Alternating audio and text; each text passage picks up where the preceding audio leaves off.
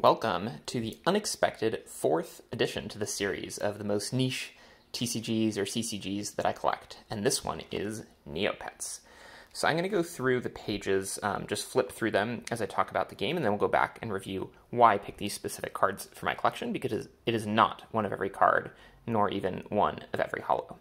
But hopefully some of these things start looking familiar to you. If you ever played Neopets in like 1998 through 2000 something, um, I think at the time the most popular online game. Was a precursor to things like Club Penguin. Um, it was around the same time as RuneScape. You would get your own virtual pet, a Neopet, and train it, um, teach it to battle, but also make it more intelligent, learn magic, um, and most importantly, collect items. So you can see a lot of these cards are items. Um, there are different types of items. You could feed your Neopet, give it toys, play with it. Um, and all kinds of other things. And trading and the online commerce was a huge part of it. Also, I learned how to write HTML because of Neopets. I'm sure a lot of other people did too. There, you could design your own pet page. You could have guilds with other people. So they made a TCG of this game, the Neopets TCG, by Wizards of the Coast. Familiar name, right? 2003 to 2006 or 2007. Uh, we're nearing the end of the binder, so my duplicates of favorite cards. Um, and now I'm going to flip back to the beginning and talk about them in more detail. Um, so I decided to collect some specific cards from the TCG. There were 10 sets overall, um, lots of holographic cards in each set. Those are the chase ones. There were some secret rares, which we'll get to and talk about um, in a minute. Um, but I was a big fan of the fairies. They're a huge part of the Neopets website. Um, and so you can see here, this is Fyora the Fairy Queen. This is from the first set, the base set, that had a really cool holo printing pattern super, super sparkly. Um, all the base set holos had this, but unfortunately they got rid of that foiling pattern in later sets um, and switched to a more traditional, regular foiling pattern, which you can see here. Um, just kind of like shiny, glossy. Um, so I wanted to collect one of each holographic fairy and any of their associated items that are also holographic. And there are a couple of exceptions because there are a couple of fairy characters I wanted to collect that were not holo, they were rare, and so I included those as well. So here you can see Fyora the Fairy Queen, her wand, her rod, her doll, and the Hidden Tower, where she lives and operates. Uh, another Holo Fairy. Here, there are two versions of this card too, the Darkest Fairy, and then a later set, this set was called the Darkest Fairy, and the doll, and again, an example of a non-holo rare, but it's a character, so I included it. Um, Illusen, you could do quests with Illusen, that's her staff, and quests with Jhudora. That was a part of the game as well. There were quests with the Snow Fairy, which we'll get to. Jhudora had a bewitched ring. So as I'm going through the two pages um, of fairy cards, and talk about some oddities with the game. The first thing is when they decided to make this. The game came out in 2003, which to me at least was after the height of Neopets. To me, peak Neopets is like 2000, maybe 2001. Um, lots and lots of people playing. By 2003, I think I'd stopped playing. Almost everyone I knew had stopped playing. Came back to it occasionally just for fun, um, but not since then. So this is one of my favorite cards. Taelia the Snow Fairy. You could do Snow Fairy quests as well. Her token the soup fairy where you get free soup from the soup kitchen if your Neopets are hungry and you can prove that you're poor. Another favorite card, Neri the water fairy, kind of like a mermaid. Um, evil mermaids over here, the drench of the healing springs where the water fairy would heal your Neopet. Um, so the timing of the game was kind of strange, and I think after the, the game's popularity, which is probably why this game is considered niche, right? Meaning like not a lot of people collect it. Very, very hard to find these cards. Um, and I think that if the game had been around like 99, 2000, 2001, a lot more people would have collected it. Um, so by 2006, 2007, I imagine Neopets was like almost totally dead, um, or at least the state it's in now with very, very few players. Um, which is why the later sets are incredibly, incredibly difficult to find. Here, another example of a card from the base set. One of my favorite cards, the Rainbow Paintbrush because it's in the base set, super, super sparkly. Um, paintbrushes were extremely rare items. You could use, I mean, the, the basic colors were common, but then these colors like rainbow and such um, were very hard to find and very expensive. I remember I got, I'll show you actually in a minute, got Starry Paintbrush, Island Paintbrush, and then here there's one other paintbrush that couldn't fit here, a non-holo spot paintbrush. I just put it behind there so it fits cleanly on two pages in this four pocket binder. One of my other favorite cards, Lost Desert Paintbrush. I love this color too. And then um, I obtained a fairy paintbrush and painted my Kougra fairy color, which to me at the time was a super big accomplishment. Love this card as well.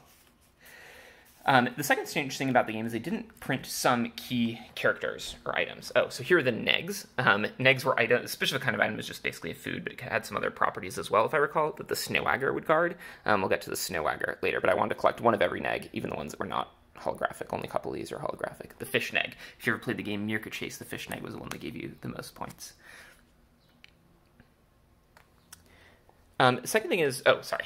I'm going to explain this page as well. Novas. I love the item Nova. It was a one-time use item in battle, and if you were really rich, you get a wand or staff or rod of Nova or Supernova or Ultranova. So I collected one of each Nova, including this Nova Fruit, Nova Storm, and then because I wanted the, this wand of Nova, Leech's wand, which is a, I think a fake rod of Ultranova, and the wand of Ultranova. Love this card. I also want, collected one of every wand card.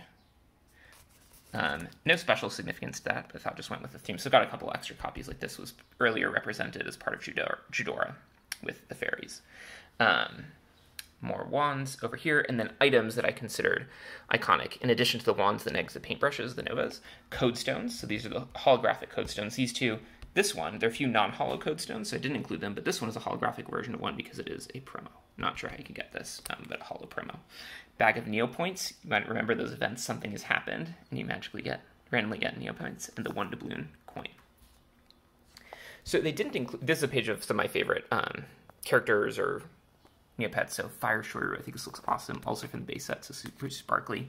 Cougar Chieftain, Ida Kougras, I love those. Rainbow Pteri, this was actually an in-joke. Um, this is the only card I know that has this many types, all six different types in the game, um, and it looks exactly like if you play Magic, Birds of Paradise. So they changed how the Rainbow Pteri looks to make it resemble the Birds of Paradise card, also by Magic, produced by WotC. The Rainbow Sticky Hand, such a cool item. Um, and then some of these characters, the Keeper of Time, King Altador, the trading post, such a key location. So the other thing I was going to say is they weirdly didn't print some other key locations or people like the Shop Wizard, the Braintree, and the Esophagor. They don't have cards of, but here's some of my favorite villains: Lord Kass, Doctor Sloth, and the Snowager, one of the most expensive cards. In terms of value, again, some of these halls are really hard to find. I'd say range um, from you know could be five dollars for some of the base set holos, but probably the average holo for the game is like twenty to twenty-five dollars, and then some of them a lot more. Snowager probably worth like 120. And on this page, we've got the secret rares. So Hannah and the Ice Caves, the set had five secret rares. These were all jelly cards. Um, or sorry, these, these five. Um, these two, not holo, but these are holo. And then the set, The Darkest Fairy, had these. Actually, all five of these secret rares I include in the fairy page also to represent them. So I have two of each of these. Um, the secret rare is probably worth anywhere from one hundred to 200 depending on which one it is. And those are probably the most expensive cards um, the secret rares are, other than this card of The Darkest Fairy. Now, there's one exception to that. Another oddity of the game is the sketch cards. So in the set The Darkest Fairy, they had these serialized card- cards that were sketches of Neopets, like hand-drawn sketches, and each one had a different, unique sketch that someone drew. For 12 different Neopets, I think they had 100 of each, not sure of the exact number. They're extremely, extremely hard um, to find. Which brings me to another oddity I wanted to, to mention in the video, that the economics of this game right now are weirdly out of whack for me, right? It took a while, it was hard to find some of these cards, but not insanely difficult, not insanely expensive, whereas it is insanely expensive to get a single sketch card or any sealed product. So unlike my other collections of niche CCGs, I don't have any sealed product for this one. I'll turn the page here too. So my favorite cards, um, multiple copies of, because I just thought I'd get 12 of these because these are uncommons and these are commons. So I had a Fairy Kougra, and the Fyora's Palace Guards are two Fairy Kougras over there, uncommon. And here the Candy Chan, a common card, which is weird because in the game I remember the Candy Chan was one of the rarest pet pets, a pet that your pet could have. Um, so a common card, but in the game this was like five or ten million Neo points at the time. I always wanted a Candy Chan or a Blue Candy Chan.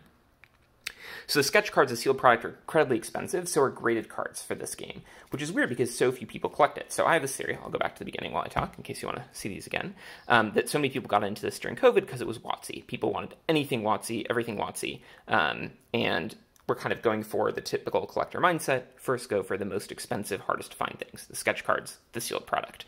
So, those are disproportionately expensive compared to actual singles or even complete sets of the game which you can get for way less proportionally um, than those things. So I don't have any sealed product, any sketch cards. I don't care much about the sketch cards, but very glad this collection and the, the unique way I sort of designed it is now complete. Um, I will still probably collect multiples of these. Some of these cards, like the paintbrushes and the fairies, I just love so much. They bring back so many memories of the game. I keep on collecting duplicates. I have them piling up in my trade binder just for fun. Um, anything else about this game I would say? I started learning how to play the game too. Play with my son. We built some simple decks. It's super fun, easy to learn, um, pretty simple, but but not not simplistic either. Um, so I think the game itself is probably underrated. I can't imagine how many people play it now, like five, and that's it.